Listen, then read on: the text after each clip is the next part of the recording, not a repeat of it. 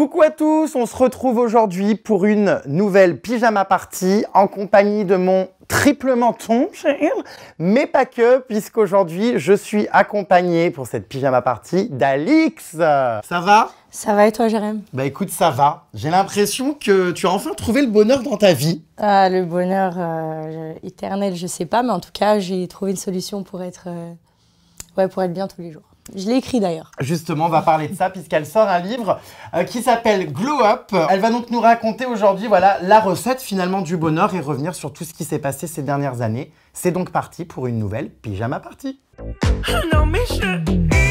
Bonsoir. Arrête, toi? Le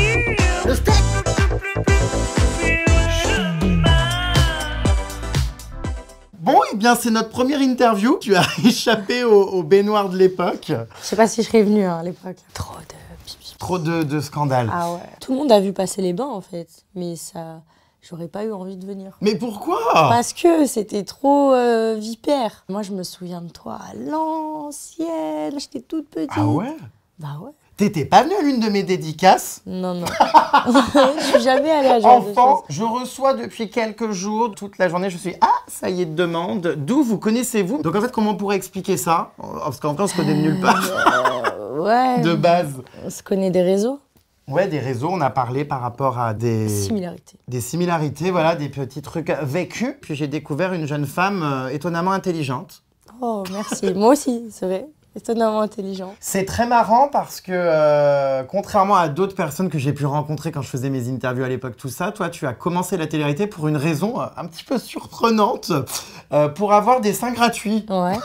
Alors ça, je- ça m'a bien fait rire cette histoire. Bah, c'est vrai. Il y a une fille que je connaissais à l'époque euh, qui avait fait cette émission et qui m'a dit bah, euh, tu vois, on peut peut-être essayer de demander tout pour ça, comme ça tu payeras pas ta poitrine.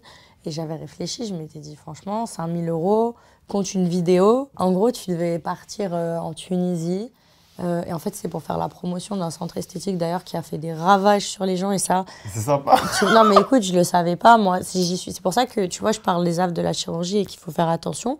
Parce que même quand je suis allée là-dedans, tu vois, j'étais pas, j'avais pas de recul. Je voulais juste avoir une poitrine. Et au final, j'ai regretté euh, la poitrine parce que déjà, j'ai demandé la plus petite taille, mais je savais pas la projection et tout ça. Donc, ils m'ont mis une projection énorme pour dire que je pouvais pas croiser mes bras. J'étais Ah, comme ça. Donc, euh, Mais ça va, ils sont pas énormes. bah, je les ai fait refaire. Ah, après encore? Ouais, j'étais obligée. Toi, t'étais vraiment complexée au point vraiment de, de Non, faire une moi, moi- là-dessus, de vouloir refaire ta poitrine? Bah non, j'étais pas complexée en fait. J'ai jamais été. Tu sais, moi j'avais une jolie poitrine en vrai. hein. C'est juste j'avais des petits seins et je voulais des plus gros seins pour porter plus de vêtements que j'étais obligée de mettre avec des push-ups de H&M qui me plaisaient pas du tout. Voilà. Du coup, je me suis dit euh, solution définitive. Donc du coup, première expérience de télé-réalité, voilà, euh, pour euh, cette, cette fameuse poitrine. C'est vrai que c'est très marrant comme, comme première expérience, qu'en général, les gens ont envie d'en faire pour l'argent, que ça rapporte, pour les voyages, pour, les placements de C'est produits. vrai qu'il y en a qui. Tu sais que ça m'a choqué en, en, en télévision plusieurs fois. J'ai vu des gens qui commençaient à la télé genre qui avaient arrêté tout leur travail. Bah oui. Tu sais, des fois, il y en a, ils arrivent, en, par exemple, sur Les Princes. Euh, bah, Ils plaquent tout. Ils plaquent tout avant de venir. Mais tu fais prétendant. Genre, tu as une espérance de vie entre 24 heures et, et allez, si tu restes de A à Z, 5 semaines. Donc là, si tu restes de A à Z, après, tu as certainement un avenir derrière, mais ça va pas payer tout de suite déjà. C'est genre, euh, il va te falloir quelques mois avant que tu puisses en vivre. euh. Enfin, je sais pas, on dirait que tu sais, c'est la rue vers l'or un peu. Bah Enfin, oui, on c'est le tout cas. et on y va, mais c'est pas ça. hein. En tout cas, on a un point commun, j'ai l'impression. Euh, on a euh, tous les deux, à un moment donné, évolué dans ce milieu qui est donc celui de la télé-réalité. Et on a tous les deux euh, fini par penser que c'était un milieu de merde. En fait, c'est pas que c'est un milieu de merde, c'est juste que de l'image que tu peux te faire et de ce qu'il y a en réalité, il y a beaucoup de choses qui sont pas dites et à chaque fois, tu vois, on s'étonne que il y a des personnes qui ne font plus ce métier-là, qui vont, qui, qui dénoncent un peu des choses, mais tu es sous contrat avant. Donc, euh, tu vas pas cracher euh, à la tête de ton patron, tu vois. Mais c'est vrai que je pense que on sensibilise pas assez sur euh, aussi les mauvais côtés. Tu dis dans ton livre justement que euh, la télé-réalité, c'est une épreuve euh, voilà, euh, dont même les plus forts n'en ressortent pas indemnes. Ouais, je trouve. Moi, tout ça, j'étais pas préparée et c'est c'est pas facile. Je pense que quand on regarde toutes les histoires et toutes les, les choses, les dramas et les choses qui se passent au sein des émissions, que ce soit au sein des amitiés, au sein des couples, au sein des familles, genre, Moi, je fais pas partie des gens qui arrivent à construire quelque chose de stable comme ça quand il y a eu euh, autant de d'embrouilles, de trucs comme ça, tu vois. Je pense que ça a un impact sur tout le monde et je pense qu'on l'a vu euh, chez beaucoup, beaucoup de candidats à un moment donné qu'il y a toujours un moment où, où tu te sens peut-être pas forcément bien. Et en plus, c'est tu peux pas prendre la parole et dire ouais, je me sens pas bien pour telle ou telle chose, tu vois. On a l'impression qu'on peut pas en parler parce que comme tu es chanceux, et eh ben t'as pas le droit de dire qu'il y a aussi des choses qui sont, tu vois, euh, un peu bah, pesantes. Donc en général, il y a plein de gens, moi je le sais, de, même toi tu dois en connaître aussi, des gens de notoriété publique, tu les vois sur leurs réseaux sociaux tous les jours, c'est des soleils, ils sont contents, ils vivent plein de trucs, et en fait, en vrai, la réalité, elle a rien à voir, tu vois. Moi je l'ai vécu par exemple, ma dernière relation, elle s'est terminée, euh, bah, comme tout le monde le sait, mais ça allait déjà pas tu vois. Mais les gens ne s'en rendaient pas compte parce qu'on avait un truc à tenir pour le bah public. Et quand tu es public, c'est hyper dur puisque les gens sont attachés à toi, à toutes tes expériences, à tes amitiés, à tes relations. Il y a une espèce de pression aussi, tu vois, qui est. Je sais pas, c'est bizarre à gérer. Et je pense que tout le monde ne le gère pas forcément bien. C'est un milieu où, où tu vas avoir des histoires avec une personne, par exemple, euh, et quelques temps après, vous faites juste une explication et hop, vous devez faire la fête ensemble. Mmh. Tu vois? Moi, je suis pas trop comme ça dans la vie. J'ai pas les mêmes objectifs de vie actuellement que les gens qui sont dans ce milieu-là. En plus, en télé, tu t'as pas de talent, tu vois. T'as des gens qui sont musiciens, qui sont acteurs, qui sont chanteurs, qui, même, je sais pas, youtubeurs. Tu vois, t'as as quelque chose. Là, en télé, c'est plus euh, un physique, une personnalité, mais normalement, genre, y a pas de mérite à venir pour ça. Tu sais, je me suis toujours dit, genre, je vais, quand je suis rentrée dans la télé, je me suis dit 2-3 ans, après j'arrête. Hmm. Je me suis toujours dit ça, tu vois. Et euh, parce que je voyais pas une vie dans ce monde-là. Tu sais, ça, genre, c'est pas chronophage, c'est pas ça te mange ton temps, mais ça te mange un peu ta vie, tu vois. Je me vois pas plus tard euh, être mariée, euh, notoriété publique avec mon mari. J'ai pas envie de, de rendre mes enfants publics non plus, tu vois. La télévision, télé-réalité, c'est des histoires privées qui se passent sur une chaîne télé je me sentais pas épanouie là-dedans, tu vois. J'ai envie de, j'ai besoin d'avoir des choses qui n'appartiennent qu'à moi, de pas être obligée de me justifier sur qui je vois, ce que je fais, pourquoi je le fais. Les amitiés, tu vois, dans la télé, il y a trop de vagues. C'est-à-dire, euh, pour une histoire, euh, tu vois, il y a tout, en fait, tu as toujours, tu sais, même les gens qui s'aiment bien, ils s'embrouillent, tu vois. Et j'ai pas le temps, je te jure. j'ai pas la force, j'ai pas, j'ai pas, j'ai pas la force et, et je l'ai eu pendant un temps, mais ça me rendait pas heureuse. Et puis ça se voyait, tu vois. Ça me rendait aigrie. T'as des histoires qui, qui ont même pas lieu d'être, tu vois. Tu vois des gens et des adultes s'embrouiller pour des choses que je suis désolée, moi dans la vie, je m'embrouille pas pour, oui, tu vois. et même, même mais même moi, je me suis vue dans des situations et j'ai eu des réactions dans des situations, parce qu'il faut savoir, tu es sous pression aussi. Mais c'est épuisant, tu vois. Après, au niveau des productions, c'est pareil, tu vois. Je pense qu'on n'est pas toujours assez accompagné. En fait, je suis convaincue qu'il y a des gens de ce milieu qui n'ont pas très bien tourné, tu vois, parce qu'ils n'ont pas eu assez de soutien euh, des structures en elles-mêmes. Par exemple, quand tu vois les psys qui, font les castings, genre, euh, des fois, tu as des psys, c'est des fans. Des psys de tournage. Genre, mmh. elles t'appellent pour savoir si tu es saine pour aller euh, en tournage. Et toi, tu sais, il faut juste lui dire Oui, alors tout va bien, il fait beau, il fait chaud. Euh, ouais, je m'entends bien avec mes parents. Tu lui dis ça. Et elle dit Ok, c'est super, bah non. Genre, euh, et des fois, elles te rappellent, elles sont fans. Enfin, c'est bizarre. La structure, elle est bancale. C'est-à-dire que même au niveau des professionnels de santé qui sont censés assurer le bien-être et les trucs, tu vois, de certains candidats, ça va pas du tout. Moi, j'ai une psy au téléphone une fois. Elle m'a raconté euh, des trucs d'un autre candidat. Ah ouais, tu vois, genre, euh, et j'étais, et en plus, quelqu'un que je connaissais, j'étais comme ça, genre, euh, ah ouais, et tout, tu vois. Tu dis dans ton livre que les valeurs qui sont véhiculées par la télé, c'est-à-dire, bah, voilà, tromperie, humiliation, harcèlement en meute, sont des valeurs qui sont énormément mises en avant dans ces programmes-là, contrairement à la vraie vie où c'est des choses qu'on va beaucoup moins rencontrer finalement. Quand je dis que tu vends un peu ton âme au diable, bah, c'est parce que en fait, il y a beaucoup de choses que tu ferais pas dans la vie tous les jours. Il y a des choses qui, qui, se passent, tu vois, en émission, qu'on banalise parce que c'est une émission de télé, tu vois. Et d'ailleurs, c'est même ce qu'on va te dire sur un tournage, tu vois. Quand il y a des choses où tu vas dire, mais ça va pas, on va dire, oui, mais truc, on lui a fait pire, ouais, mais regarde, elle, on lui a fait ça. Il y a des trucs, tu vois, qui sont chauds, genre, euh, on l'a vu à plusieurs reprises, tu as des candidats, genre, qui vont se retrouver seuls face euh, à beaucoup de personnes d'un coup, tu vois. Et toi, tu le vois à la télé, bon, voilà, ça peut être, tu peux dire, oh non, c'est une dinguerie ou c'est ça, mais en réalité, quand tu es tout seul à vivre ça, oui, tu le mal. c'est archi compliqué, c'est difficile. Et, et, la journée, elle s'arrête pas une fois que l'épisode s'arrête. Ça, ça c'est à la télé. C'est que ça dure, c'est sur plusieurs jours. La majorité des couples, en fait, on, on est heureux, on fait tout pour les mettre ensemble, donc créer une belle histoire, parce que dans cette saison, dans cet épisode, c'est très beau, il faut que ça fasse une belle histoire. Et après, derrière, on fait en sorte de leur mettre un petit peu euh, des pierres sur le chemin et des bâtons dans les roues, tu vois, pour euh, que ça se casse un peu la gueule, donc pour introduire une nana. Quand tu es là-dedans aussi, tu acceptes plus ou moins d'être acteur de ce jeu-là.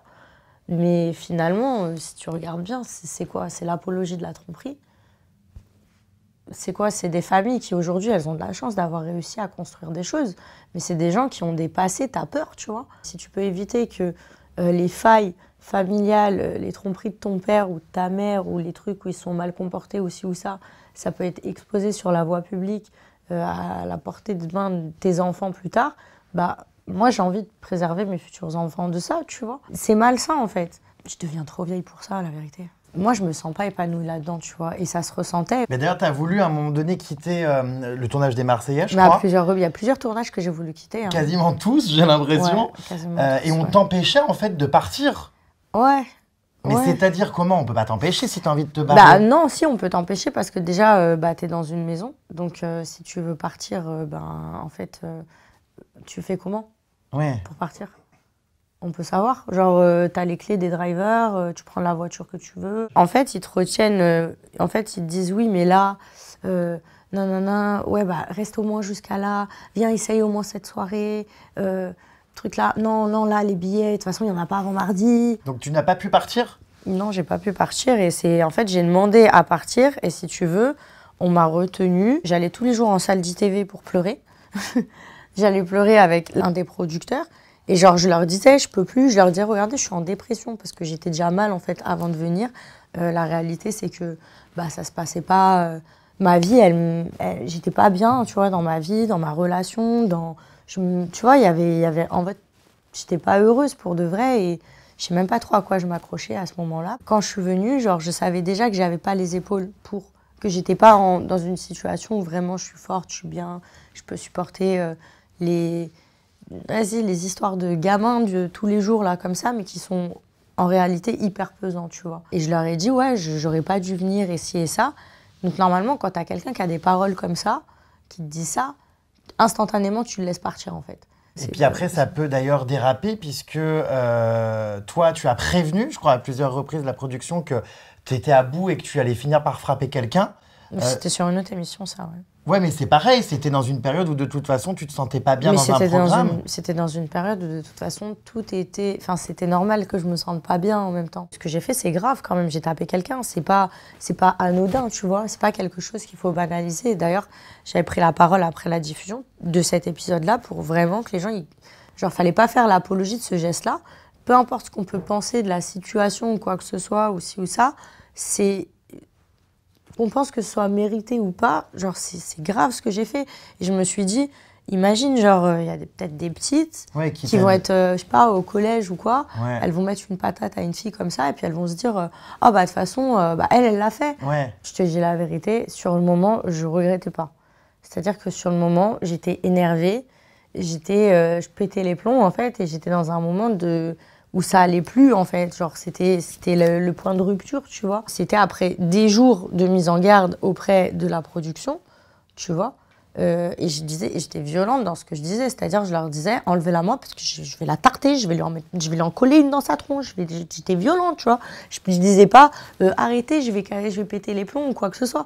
Non non, j'étais vraiment imagée, tu vois. Donc quand as quelqu'un qui te parle comme ça, sachant que tu sais que bah, c'est une situation qui peut s'avérer euh, complexe. Genre, tu fais en sorte d'eux. Et moi, la réponse que j'avais, c'était oui, bah, moi, je peux pas faire en sorte qu'elle euh, elle s'approche pas de toi. Mais, genre, y a, tu vois ce que je veux dire? C'est il y a une sorte d'hypocrisie qui au final d'un autre côté tu peux pas trop leur en vouloir non plus parce que c'est le but un peu de l'émission tu vois? Donc au final tu es acteur de ça de choses qui te conviennent pas et en fait qui font même qui te font du mal, tu vois. C'est un peu paradoxal comme travail en fait. Et à la fois tu vas te servir entre guillemets parce que ça va t'apporter des choses, mais à la fois tu t'exposes aussi à des blessures euh, émotionnelles et, psychologiques euh, que peut-être tu régleras jamais, tu vois. Si on fait un zoom arrière, on, on, regarde toutes les personnes qui ont eu accès à la télé-réalité à outrance à un moment donné, on peut pas dire que c'est des gens qui sont heureux, épanouis, équilibrés. Franchement, j'ai jamais été aussi heureuse que le jour où j'ai dit j'arrête. C'est vrai? Je te jure. Je te jure, j'ai jamais été aussi bien que le jour où j'ai dit j'arrête. Je l'ai annoncé sur mes réseaux, j'ai dit j'arrête, ça y est, c'est j'arrête. Je le savais que j'arrêtais, mais genre de l'écrire. Oui, ça y est, c'était acté. De l'écrire, genre j'arrête, c'était. Officiel. Ouais, c'était bien. Décidé, tac. Ouais, et puis c'est une bonne chose, tu vois, de se dire, euh, bah voilà, j'étais dans un truc qui me correspondait plus ou pas, et euh, et c'est aussi reprendre un peu son, le pouvoir sur sa life, tu vois. Dans ce livre, tu parles donc de pas mal d'expériences de ta vie euh, et je voudrais qu'on parle notamment euh, de tout ce qui est euh, rumeurs parce que alors toi, tu as été victime de rumeurs et finalement d'acharnement, on peut le dire sur les réseaux sociaux de par ta notoriété, mais par exemple euh, une petite qui est à l'école, euh, et on le voit très souvent, qui va être euh, traitée, je dis n'importe quoi, mais de salope parce qu'elle s'est tapé deux mecs dans son lycée, puis on va faire d'elle une rumeur par-ci par-là. Ça va être très compliqué à gérer. Et on sent que dans ce livre, tu as vraiment envie d'expliquer, par exemple, aux jeunes qui te suivent, comment faire face à des rumeurs et comment ils survivent, parce qu'une rumeur peut tuer. Je pense notamment à toi, à des rumeurs qui t'ont énormément affecté, qui ont d'ailleurs, tu vas nous expliquer, mais affecté ton, entourage aussi, euh, sur euh, c'était quoi ces rumeurs finalement? C'était des conneries? On, a fait croire que tu étais escorte. Je pense qu'en fait c'est le la fille de télé-réalité en général. Euh, elle est toujours axée genre si t'es une fille, t'as fait refaire ta poitrine, t'as deux injections dans la bouche, bah t'es forcément une escorte. Donc moi la différence c'est que bah j'ai pas été escorte, par contre j'ai fait du strip et je l'ai toujours assumé justement parce que personne va se servir de ça contre moi, en fait. À aucun moment, euh, pour euh, essayer d'en faire une honte ou je ne sais quoi, ou quoi, parce que ça l'est pas. Donc, il euh, n'y a pas de problème. Quand j'étais gogo danseuse, je, faisais moi-même la promotion sur mon Facebook, enfin, sans problème, et, et ça n'a jamais été une honte, tu vois. Mais effectivement, il y a une personne qui s'était servie du coup des photos que j'avais donc en club, euh, donc autant en boîte de nuit qu'en cabaret et tout, pour essayer de dire que euh, j'étais escorte. Moi, mon père, un jour, il m'a appelé et il m'a dit J'ai un ami qui m'a montré un article, il paraît que tu es escorte. C'est sympa, Mais mon père, il m'a appelé, pas pour me poser la question, parce qu'il trouvait ça absurde. Tu vois, il me connaît. Euh, genre, c'est un truc de fou parce que mon père, il est pas du tout sur les réseaux, pas dans le délire téléphone. tu vois, c'est pas son truc. Donc c'est un ami à lui qui l'a appelé pour lui dire ouais j'ai vu ça. Comme quoi ça va vite quoi. Bah, c'est là où tu rends compte de l'impact. C'est-à-dire que s'il y a un homme de 55 ans qui a appelé mon père pour lui dire ouais j'ai vu ça, ouais. euh, tu vois ce que je veux dire? C'est qu'il y a un réel impact en fait, il y a un réel impact sur les familles. Il faut savoir que quand on te colle une étiquette qui n'est pas la tienne et que ça devient euh, quelque chose que tu dois vivre tous les jours, euh, avec des gens qui viennent te persécuter chaque jour, euh, Personne ne peut vivre ça euh, correctement, je pense. Être victime d'une rumeur ou que elle soit vraie ou fausse, hein, attention. Ça peut. Parce qu'en vrai, tu sais, t'as des rumeurs qui sont. C'est des vraies rumeurs. C'est des choses euh, que t'as pas forcément envie qu'on sache ou qui sont privées ou. Voilà. Dans tous les cas, c'est pas facile à vivre. Mais euh, il y a plusieurs solutions. Hein. Il y a porter plainte. Toi, tu l'as fait? J'ai porté plainte. Toi aussi, tu l'as fait? Oui. Donc porter plainte, il faut prendre du recul, s'entourer des bonnes personnes et surtout ne pas se laisser faire. Il faut taper dedans. Non, faut pas taper. Non, non, recommence pas tes conneries. Hein. Faut pas taper. Ça faut suffit. Pas taper, faut pas taper. Ça suffit. Avant d'avoir la notoriété que tu as euh, aujourd'hui, tu as quand même eu un parcours assez difficile, tu as galéré. Euh, je me souviens que la première fois qu'on s'est vu, euh, tu m'as raconté euh, que même euh, bah, pour manger, tu galérais. Quand j'étais avec mon premier copain, on a eu une situation assez compliquée. on n'avait pas trop les moyens. Et est arrivé un moment où, voilà, on mangeait, enfin, on mangeait pas toujours comme on voulait, quoi. C'est-à-dire, on avait un, on avait le frigo vide, tu vois. Et les solutions, elles ont été, elles ont été radicales, tu vois. Au bout d'un moment, je pense que tu sais, j'habitais dans une, une, zone commerciale et j'allais faire mes courses dans ces supermarchés, tu vois. Mais à un moment donné, j'étais obligée de considérer les bennes euh, à poubelle, tu vois.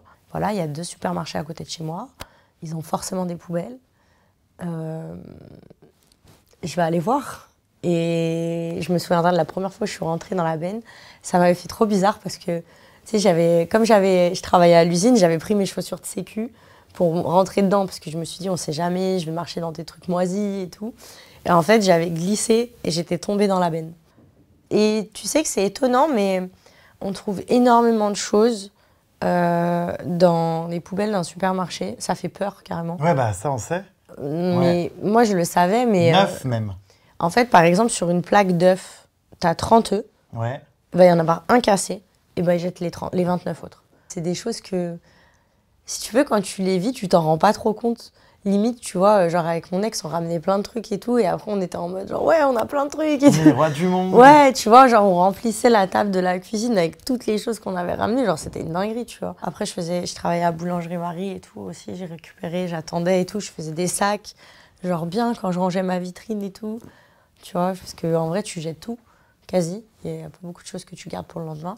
Et tout ce que ce qui devait partir à la poubelle, tu vois, je mettais bien genre les balayures dans un autre sac pour bien pouvoir venir le récupérer après. Et, euh, et ouais, tu te sens un peu. Enfin, ça t'enlève. Euh, tu sais, c'était, quand même des bons moments en vrai. ça peut, peut paraître bizarre, mais c'était des bons moments de quand tu trouves plein de choses et que tu te dis, bah.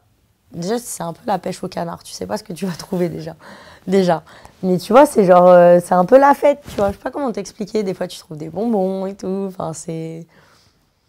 Donc, euh, c'était pas forcément une mauvaise période, mais on va dire que je suis contente d'avoir. Euh, de pas, pas m'être arrêtée à certaines choses parce que je me dis que si j'avais eu trop d'ego à certains moments, tu vois, par exemple là, bah, je serais jamais montée dans cette poubelle, par exemple. Et... N'aurais jamais glissé Ouais, certes, mais on serait... il y aurait eu plein de situations, tu vois. Il y a, il y a eu plein de fois où on a pu manger comme on voulait, tu vois, où économiser des sous de la bouffe et de les mettre ailleurs, tu sais, ça peut arriver à tout le monde. Hein. Ça peut arriver à tout le monde et justement parce que ça peut arriver à tout le monde, je pense qu'aujourd'hui, il faut être conscient de ça. C'est pas parce que aujourd'hui, genre, euh, je parle de moi, hein, parce que souvent je reçois ce genre de messages, genre, ouais, euh, t'as vu ta vie, euh, non, non, non. Mmh. Mais c'est pas parce que aujourd'hui, genre, j'ai la chance et j'ai travaillé aussi pour hein, d'être bien que ça a toujours été le cas et que j'ai jamais vécu des choses compliquées. Quand tu as mangé des cailloux, tu, tu, prends vraiment plaisir euh, à manger, euh, tu vois, des choses plus sympas. Du caviar. Exact. Je suis pas des trop caviar. Au caviar, il n'y a qu'un pas. Le caviar entre nous, euh, j'ai déjà goûté, c'est dégueulasse. Ouais, grave, Honnêtement, ça aucun goût.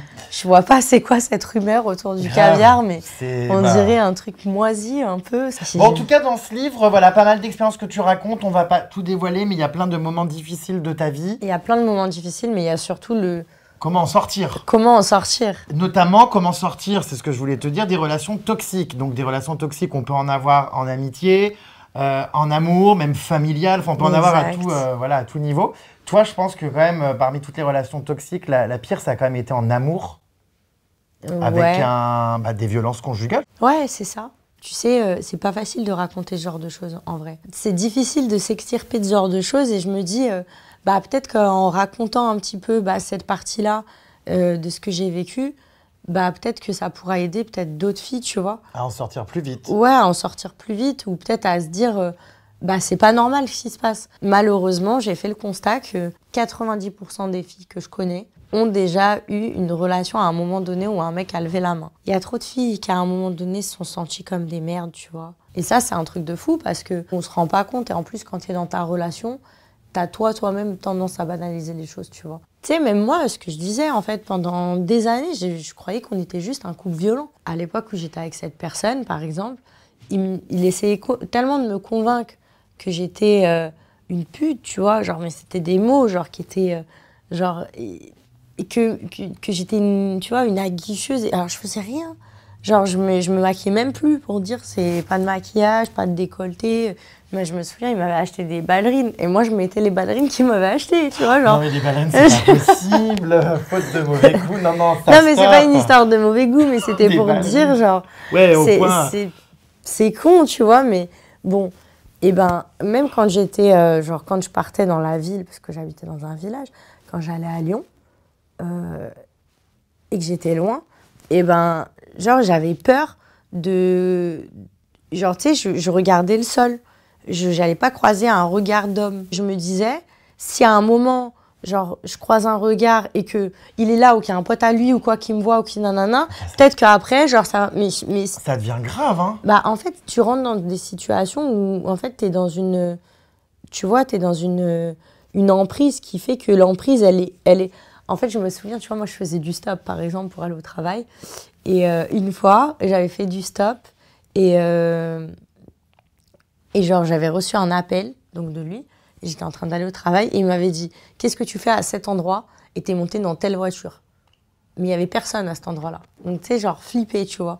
Et, euh, je lui disais Bah, euh, je vais au travail. Mais c'était pour dire. Alors qu'en vrai, euh, t'as peut-être juste. Enfin, il y a peut-être juste. C'est des villages, tu vois. Peut-être juste quelqu'un qui m'a vu, qui t'a dit que. Tu sais, ça peut être une situation totalement classique et banale. Mais t'es tellement dans une relation. Euh, bah, qui est malsaine, tu vois. Je me dis, si demain il y a une des filles qui prend mon livre, qui vit ce genre de choses à différents degrés, bah peut-être que, tu vois, moi, il y a eu des moments où genre, je me sentais euh, seule et je, pensais que ma vie, ça allait être ça, tu vois. Genre, euh, j'osais pas partir. Et je me disais, ben. Et d'un autre côté, tu veux partir, d'un autre côté, tu te dis, ouais, mais genre, euh, personne va vouloir de moi si je suis pas avec lui. Genre, qui voudrait de moi à parler? Parce que c'est ça qu'on me dit aussi, tu vois. Si j'avais eu peut-être plus de, de soutien, bah, ça aurait pu changer beaucoup de choses. J'ai reçu un message de menace euh, après la première interview et j'ai pris la parole euh, vis-à-vis ben, de ça. Ouais, euh, fais attention dans les interviews parce que moi, on me demande des photos et des vidéos de nous avant et genre, je les donne pas. Le fait que moi, je devienne un peu public et que j'en ai eu parlé, et j'ai pas, je donnerai jamais d'informations et tout. Mais les gens qui nous ont connus à cette époque-là, ils savent très bien. Hein, oui, de qui tu parles. Exactement. Il y a beaucoup de choses que j'ai pas faites, que j'ai pas dites, des démarches que j'ai pas faites, que j'aurais pu faire. J'ai pas apporté plainte, j'ai pas. Enfin, ah j'ai essayé. Je te dis la vérité, j'ai essayé. Et euh, j'ai eu une très mauvaise réaction euh, des gendarmes euh, du village dans lequel j'habitais, parce que justement, bah, comme ils venaient souvent chez moi, parce que mes voisins, ils appelaient tout le temps pour violence conjugale, tu vois. Non, mais c'était un truc de ouf, tu te rends pas compte. Moi, j'avais les, les, j'avais les gendarmes à ma porte tous les trois jours, hein, pour de ah vrai. ils venaient chez moi, ils me disaient, ouais, euh, les voisins, ils nous ont appelés. Et je disais, bah non, je suis folle, je suis énervée, je jette des assiettes contre les murs. Oh putain. Alors que j'étais absolument pas folle, tu vois. Ouais. Et le jour où je suis partie porter plainte, je suis allée à la police, à la moitié de ma plainte, et un gendarme qui est rentré, et c'était un, mec, tu vois. Il me regarde et me dit, mais euh, vous êtes la demoiselle de la résidence euh, Jean-Marie et tout. Je dis, ouais, ouais. Et euh, il me dit Ah ouais, ben, c'est maintenant que vous venez Genre, euh, toutes les fois où vous nous faites déplacer, c'est que maintenant que vous venez. Et en fait, j'étais tellement dans un moment où c'était déjà ultra difficile pour moi de passer la porte euh, de cette gendarmerie, d'aller, de raconter de ci, de ça. J'ai ramassé ma pièce d'identité, je suis partie en larmes. C'est chaud, tu vois. Tu te dis, c'est que même les institutions, elles sont pas formées à, t'accueillir comme il faut, tu vois, à réagir comme il faut à, plein de choses. Et même, moi, quand la police venue chez moi, je me disais quoi? Euh, Ouais, ok, j'en reviens. Donc quoi, je vais dire oui, oui, oui, c'est vrai, il m'a tapé et tout. Et quoi, vous allez le garder 24 heures et il va ressortir et ça va être pire. Mmh. En fait, ça s'est fini comment cette histoire, cette relation toxique? Est-ce qu'il y a eu une goutte d'eau qui a fait déborder le vase ou un acte euh, peut-être plus fort qu'un autre qui cette fois-ci, tu t'es dit stop? En vrai, une fois, on est parti en vacances, enfin week-end, genre, avec d'autres personnes. Et c'est la première fois où il a été vraiment violent devant moi, devant ses amis, à lui. Tu vois?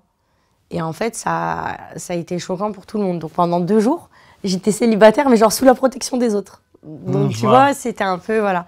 Et quand on est rentré euh, bah, chez nous, euh, bah, bah tu vois, genre j'étais heureux en couple. Genre j'avais pas trop le choix, tu vois. Tu sais, euh, quand tu es avec ce genre de personnes, quand tu sens que la situation, elle commence à être tendue, en général, tu fais en sorte d'apaiser les choses pour pas que ça dégénère, tu vois. Et, euh, et, en fait, là, au contraire, j'ai pas poussé, mais genre, euh, j'ai rien fait pour. Euh, Calmer les choses Non, parce que je voulais que ça pète, clairement, pour avoir un prétexte. Ouais. Et d'un autre côté, je me disais, bah, je veux le quitter, mais je peux pas, parce que si je le quitte, il va me tuer, tu vois. Et, et c'était. Et d'ailleurs, quand je l'ai quitté, il m'a mis son fusil de, de balle trappe sur la tête. C'est sympa, dis L'escalade de la violence dans une relation, c'est un truc de ouf. C'est-à-dire que ça commence par un poignet tordu et ça finit par un couteau sous la gorge, tu vois. C'est c'est ça paraît banal comme quand, quand, je dis ça toi tu me fais des yeux comme ça mais je te jure c'est c'est ça peut aller plus vite que tu crois. Hein. Là où ça devient compliqué, c'est quand toi, tu commences à trouver des excuses pour justifier les ah traces que tu as. ça, c'est le pire. Et en fait, quand tu commences à faire ça, c'est-à-dire que tu vas avoir un bleu, tu vas dire, ouais, je me suis cogné, alors qu'en vrai, tu t'es absolument pas cogné. Et en plus, en général, les gens comme ça, tu sais, là où c'est le plus dur, en général, les mecs comme ça, c'est les euh, mecs que tout le monde kiffe, et tout le monde les adore, tu vois, qui sont genre, euh, mais ça va pas, il est trop gentil, lui, tu vois, enfin et c'est des gens, tu les soupçonnes même pas, en fait. J'ai eu de la chance. Moi, j'ai même avorté cette personne, tu vois.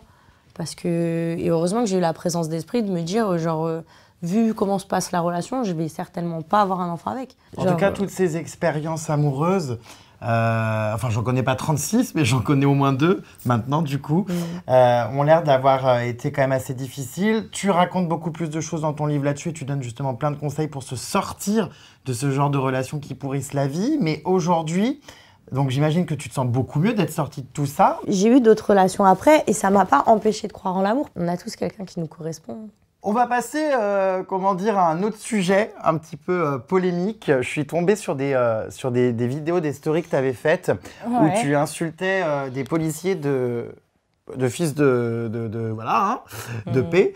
Euh, qu'est-ce qui s'est passé ce jour-là? Je crois que c'est parti hyper loin. Tu avais fait une story donc en t'en prenant à eux et je crois qu'il y a un syndicat qui avait demandé à Castaner de te poursuivre en justice. Ouais, d'ailleurs, je suis allée euh, comparaître. Euh, j'étais convoquée par ah le 36 quai des Orfèvres. Ah, mais carrément? Ouais. En fait, on sortait du secours populaire avec mon pote et il se trouve que c'est dans le 18e. Donc, dans le 18e, tu sais que c'est très hétéroclite, tu vois, il y a tout. Il se trouve que il y a régulièrement des contrôles de police euh, sur la route qu'on empruntait, en tout cas pour, euh, pour aller de la maison au euh, centre Secours Pop. Et c'est toujours des personnes, tu vois, de couleur, en fait, qui sont contrôlées. C'est ça qui est dingue. Donc ça, tu as filmé en insultant, du coup, les, les bah, policiers Je l'ai filmé pour dire que, en fait, j'ai dit que c'était inadmissible de contrôler que ce genre de personnes-là. Et, et voilà, et j'ai eu un petit mot un peu insultant, effectivement. Mais en fait, je veux bien reconnaître que la forme est mauvaise, mais le fond, euh, il est totalement actuel et légitime parce qu'au bout d'un moment, euh, c'est pas comme si euh, je, disais quelque chose qui est inconnu, tu vois. Et je suis allée à un truc, genre parler avec une dame pendant des heures. Et je lui ai dit, oui, si j'avais dit, allez vous faire considérer chez les Hélènes bande de pleutres, ça veut dire exactement la même chose, mais avec un français très poli. Ouais. Est-ce que je serais là? Et elle m'a dit oui. ah, en fait, on n'a pas le droit de donner un avis sur euh, les forces de l'ordre, visiblement. Et je trouve ça dingue, en fait, qu'on puisse pas donc, euh, en parler directement. apparemment, du fait que je sois public euh, soit différent, mais en fait, moi, quand on m'a convoqué, les dates qu'on m'a données, parce que moi, je les ai faites, les vidéos. Donc, je les enregistre. Donc, je les ai, les dates. les dates, en fait, étaient ultérieures de trois jours du jour où a été tournée la vidéo. C'est absolument pas moi qui l'ai rendue virale, cette vidéo, mais c'est justement ce fameux syndicat de police qui a rendu cette vidéo virale. Donc à la base, euh, ça n'a pas fait de bruit, mis à part euh, bah, sur mon réseau personnel, tu vois, donc pour ma communauté. Et en fait, ce qui est dingue, c'est que moi, j'ai été donc poursuivie, euh, c'est-à-dire j'ai reçu une convocation, etc., pour avoir ce fameux rendez-vous, pour me dire, c'est pas bien, madame, il faut pas recommencer, sinon vous avez payé une amende. Euh, de 12 000 et quelques euros, euh, je ne sais plus combien. En fait, c'était quoi le motif euh, Injure publique envers, les forces de l'ordre ou je sais pas quoi. Et alors, attends, du coup, donc il y a eu cette convocation, ça a été juste un avertissement ou tu as été poursuivi Non, non, ça a été, c'était en gros, c'est comme, je pense que c'est une sorte de rappel à la loi, tu vois. D'accord. J'avais rien contre la police, en fait, moi j'ai juste un souci contre les les représentants de la loi qui font euh, leur loi comme des cow-boys et qui, ont des, qui font des différences entre les uns et les autres. Et il n'y a pas eu un autre souci aussi avec la police en Espagne J'ai l'impression qu'il y a sans arrêt des problèmes. On a un procès là qui arrive justement. Mais t'es parti en prison? Euh, Ouais, on est allé en prison, euh, mon pote oh Samy et moi. En fait, il y a un vigile d'un établissement qui a tapé mon pote de derrière, tu vois. Je pense peut-être qu'il l'a pris pour une autre personne ou franchement, je sais pas. Mais genre, c'était gratuit, tu vois il lui a mis un coup derrière et mon pote il est tombé dans les escaliers. Donc arrivé en, bas des escaliers, tu vois, il lui a dit mais Hmm. Tu vois, genre il s'est énervé, tu vois, il lui a dit mais ça va pas ou quoi? Du coup, ils sont sortis. Euh, là, il y a la police qui est venue, donc mon pote, il a commencé à expliquer à la police, à dire voilà, il s'est passé ça, c'est pas normal et tout. Et les policiers, tu sais, là-bas, euh, c'est un peu spécial, tu vois, la police. Et euh, le policier, il a dit à mon pote, bah non, c'est pas vrai ce que tu dis, parce que le vigile, je le connais, donc c'est pas possible ce que tu dis. Tu vois, ils sont genre c'est la police du port avec oui, Ils n'ont pas cru euh, ton pote, non, ils sont en bis-bis ensemble avec les, les, boîtes du port et tout, les vigiles et tout. C'est un peu spécial euh, l'Espagne, tu sais. Mais comment toi tu te retrouves là-dedans bah, En fait, quand j'ai vu qu'ils étaient archi agressifs, violents avec lui, j'ai pris mon téléphone et j'ai commencé à filmer. Ouais. Parce que bah il n'y avait pas d'autre solution, tu vois. Genre je suis une femme, je vais pas mettre au milieu. Et, euh, et en fait, ils ont essayé de m'attraper et parce que j'avais mon téléphone. Et à ce moment-là, je me suis dit, mais attends, mais c'est un truc de fou, genre. Tu sais, enfin, déjà, tu peux pas, tu peux pas vouloir. Ils m'ont fait tomber d'un muret. Euh, ils, ont, ils essayaient de m'arracher mon téléphone et tout. Ils me tiraient et tout comme ça. Tu peux pas faire ça, en fait. Enfin, c'est. Après, euh, je pense que parce que tout simplement, j'avais une vidéo, euh, parce qu'à un moment, ils ont mis une gifle à mon pote, gratuit, et j'étais en train de filmer, tu vois. Donc, forcément, bah, ils n'avaient pas envie que que le téléphone euh, il soit récupéré. D'ailleurs, il a fini dans l'eau, on le voit, parce que comme les gens ont vu que c'était moi, ils ont filmé la scène. Donc euh, il y avait plein de Français. Et on voit, donc on nous voit en train de se faire euh, tabasser par la police. On voit bien que moi j'ai six policiers qui ont porté plainte contre moi et qui sont allés dire que je les avais agressés. J'ai un mec qui m'a étranglé à deux mains, un policier qui m'a étranglé à deux mains. Genre, il était à genoux sur ma poitrine et il m'étranglait avec ses deux mains. J'avais un suçon sur la gorge tellement il m'a étranglé. Moi, ils avaient tellement la mort contre moi, ils m'ont laissé les menottes attachées dans le dos pendant 7 heures. 7 heures. On est allé en, garde à vue.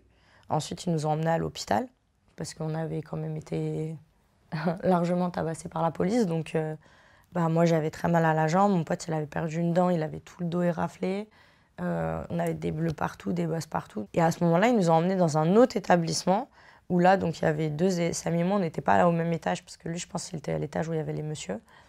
Et, euh, et, là, on a dormi donc, dans la prison de Marbella. Et euh, après, le lendemain matin, ils nous ont réveillés pour nous emmener en mandat de dépôt. Donc, c'est une autre cellule euh, qui est à ce moment-là est en bas du tribunal, donc dans les sous-sols du tribunal, où il fait super froid. Ils ont violé tous nos droits. Notre avocat, il était là. Il était à 11h au tribunal, ils ne l'ont pas laissé rentrer. C'est-à-dire qu'on a été jugé avec un avocat commis d'office qu'on ne connaissait pas. Euh, un juge qui nous écoutait même pas. Et bref, euh, du coup, c'est spécial euh, la justice espagnole. Donc là, ben, j'attends le procès. Et puis on verra. Parce hein. que là, donc, tu es poursuivi? Ouais, ils ont porté plainte contre moi pour agression. En fait, comme, si tu veux, moi, je leur ai dit tout de suite, genre, en gros, j'ai des followers, tu vois, j'ai beaucoup de monde. Ils ont vu que je mentais pas, tu vois. Et je pense qu'en fait, ils sont allés porter plainte pour essayer de se défendre. Parce qu'en fait, en Espagne, il y a un truc avec une loi, genre en mode, c'est la parole de la police, elle prime sur la parole des gens. Donc ils sont allés porter plainte pour se défendre en fait.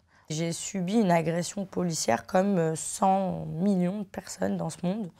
Et, euh, et comme dans chaque affaire où la police est impliquée, et eh ben, c'est bizarrement, quand tu écoutes, ils ont, c'est jamais de leur faute et c'est jamais eux les coupables. Avant, être policier, déjà, c'était une fierté. Aujourd'hui, être policier, ils sont obligés de mettre des primes et de les payer je sais pas combien pour avoir des candidatures. Sais pas si tu te rends compte. Donc en fait, on a des gens qui sont plus là par amour de leur travail, mais par motivation financière quasiment exclusive. Donc au final, on a des petits cow-boys qui viennent et qui sont armés, tu vois, et qui sont en plus euh, entraînés et formés et, et légalisés en plus de leur violence. C'est-à-dire que s'il se passe un truc, c'est les forces de l'ordre. Ils sont où les gardiens de la paix? Bon, en tout cas, pour revenir à ce livre et parler de choses un peu plus euh, positives, je crois avoir compris, tu me dis si je me trompe, mais que c'est une révolution ce livre personnel. Ouais. On sent une Alix voilà, qui, euh, bah, qui a envie de révolutionner sa vie et, celle de, bah, des personnes qui la suivent avec plein de conseils. Euh, finalement, c'est du développement personnel en fait ce livre. Bah, D'ailleurs, je suis très contente parce qu'on n'est pas classé en reportage, témoignage ou personnalité publique dans les librairies, mais bel et bien en développement personnel et PNL. Donc, euh, PNL, le groupe? non, je sais pas moi. Dedans, il y a pas mal euh, donc de conseils, euh, comme on le disait, sur euh, bah, finalement à partir de tes expériences, mais que des jeunes peuvent retrouver dans leur vie, que ce soit donc relations toxiques, la rumeur, le harcèlement, l'amour, enfin plein de choses, mais aussi l'acceptation de soi. sur le fait de s'apprendre à aimer. Est-ce que tu fais des stories avec des filtres, toi? Il me semble pas en avoir vu. J'en mets de temps en temps, mais c'est vraiment pour décorer et c'est rare. Parce que les filtres, enfin, c'est une catastrophe, ça. hein. J'ai arrêté. Plus personne Ça ne fait- s'aime sans filtre. Ça fait euh, quasiment. euh, ça fait plus d'un an et demi que je mets plus de filtre. C'est bien, ça fait du bien. En fait, euh, c'est pas facile au début parce que tu es habitué à te voir euh, lisser et tu sais. Mais enfin, je comprends pas, il y a besoin de quel filtre là? Non, mais c'est ça que je comprends pas en fait. Non, mais c'est vrai, c'est en fait, on n'a pas personne n'a besoin de filtre parce que de toute façon, quand tu rencontres les gens dans la vie, Oui, y a- bah oui. euh, tu vois, tu peux leur mentir sur Instagram, Ouais. ouais, je suis comme ça, et en fait, euh, au final, non. Donc autant euh, apprendre à s'aimer soi-même. Et je pense que je pense que Snapchat, euh, au-delà du côté euh, récréatif, des filtres qu'on avait et tout, ça fait beaucoup de mal. hein. Ça fait beaucoup de mal parce qu'il y a des gens aujourd'hui qui vont voir des médecins esthétiques avec des photos Ouais. avec filtre et qui leur disent je veux ressembler à ça. Ouais. Ou des jeunes filles qui se trouvent pas belles et qui se trouvent belles que dans leur film. Donc ça va faire quoi quand ça va être des femmes Des influenceurs ou des influenceuses comme toi qui ont quand même, bah voilà, pour parler très franchement, un physique euh, extrêmement euh, fla- flatteur. Euh, C'est compliqué, tu sais, pour des gens euh, de s'identifier à des personnes comme vous, puisque vous êtes parfaite sur les réseaux sociaux. Non, on n'est pas parfaite. C'est juste que moi, déjà, je suis loin d'être parfaite. Je suis peut-être. je peux être considérée comme jolie, genre dans les standings actuels. Mais euh, dans d'autres sociétés, euh, je serais pas considérée comme telle, tu vois. C'est pas pour autant parce que tu fais partie hein, plus ou moins des normes, tu rentres à peu près dans la case, que pour autant tu te sens bien, que tu n'as pas de complexe. euh, et que le reste de. Moi, ouais, je peux regarder des photos de filles où je me sens. euh, à côté, je me dis, oh là là, tu vois, le rapport qu'on a de son corps à, soi, à soi-même et le reflet qu'on se, renvoie, c'est archi important euh, pour ta confiance en toi. En général, tu vois, l'esprit, c'est forcément lié au corps. En général, euh, bien dans sa tête, bien dans sa peau, tu vois. Il y a aussi quelque chose de super euh, dans ce livre que moi j'ai bien aimé, c'est le fait de- d'encourager les gens à pratiquer la gratitude. Ça c'est hyper bien. Moi j'essaye grave de le faire quand je traverse des périodes difficiles. Et on va d'ailleurs le faire ensemble. Je voudrais que tu me donnes trois choses euh, pour lesquelles tu éprouves de la gratitude là aujourd'hui, maintenant. Quelles- trois choses positives de ta vie euh, pour lesquelles tu es reconnaissante. Alors, je suis reconnaissante euh, bah, d'avoir un toit sur la tête. Ouais. Déjà, c'est important de pouvoir manger à ma faim tous les jours. Ça, c'est vraiment très important. Je suis reconnaissante euh, d'avoir des gens bienveillants autour de moi et je suis reconnaissante euh, du parcours euh, que j'ai accompli jusqu'ici et des opportunités qui me sont ouvertes aujourd'hui. Et toi? Je suis reconnaissant euh, d'avoir vécu mon rêve et tout ce que j'avais envie de faire euh, dans ma carrière. Franchement, je crois que tant mieux si ça continue, mais beaucoup de choses que j'avais envie de faire, je les... Moi aussi, j'ai beaucoup coché Moi sur ma aussi. to-do list. mes cases. Mm, mm. Là, je suis sur scène, je rêvais depuis que je suis tout petit, je faisais des spectacles dans le, le grenier de ma grand-mère. Je rêvais de le faire un jour sur scène, je le fais. Donc déjà, rien que ça, voilà, donc je suis reconnaissant des choses. Je suis reconnaissant d'être en bonne santé parce que j'ai très peur de la maladie et de la mort. Et euh, je suis reconnaissant euh, bah, d'avoir la chance de faire un, un métier que j'aime. Et d'être là, d'avoir une certaine liberté. Mais en vrai, je suis reconnaissant surtout euh, de vivre. J'aime trop la vie. Je suis d'accord. Mais tu sais, j'aimerais être immortel. Ah, immortel, je sais pas. Ah hein, si, qu'il y a une beauté trop dans- de choses à faire. En tout cas, merci beaucoup pour cette petite euh, pyjama party qui était très sympa. Et puis, bah, je te souhaite plein de bonnes choses et plein de succès pour ce livre que vous pouvez donc retrouver euh, partout, hein, sur toutes les plateformes de vente habituelles, dans les librairies, tout ça. Euh, en plus, tu es dans la même maison d'édition que moi, donc tu vois, t'as pas été euh, frappé à la mauvaise porte. Gros bisous et à bientôt. Ciao, ciao. Non mais je... Bonsoir. Je... pas.